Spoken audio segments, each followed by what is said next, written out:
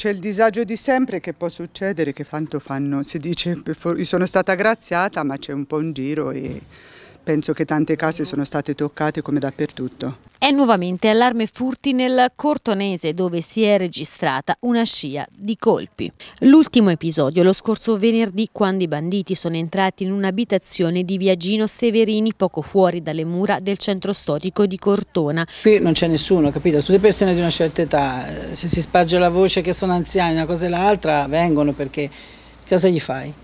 Eh, un po' preoccupati siamo perché, ha visto, io sto sempre in casa, non è che vado a giro tanto, però in quei momenti che vado a fare la spesa eh, un po', un po', di problemi ci sono. I malviventi indisturbati hanno messo a soqquadro le stanze alla ricerca di oro e preziosi, poi hanno portato via alcune bottiglie di vino pregiate, hanno mangiato qualche biscotto ed infine si sono dati alla fuga. Sono ritornate alle due dal lavoro e hanno trovato la finestra, insomma che erano entrati in casa, hanno quello che hanno trovato hanno portato via, ma insomma poca roba, ma eh, il disagio tanto. Misero il bottino poche centinaia di euro, ma cresce la paura dei residenti della zona, recentemente presa di mira in più occasioni. È sempre un problema di tranquillità personale, che quando si sa che gente entra a casa, anzi che per quello che so io, questi, queste zone entrano quando non c'è nessuno, e già questo è positivo.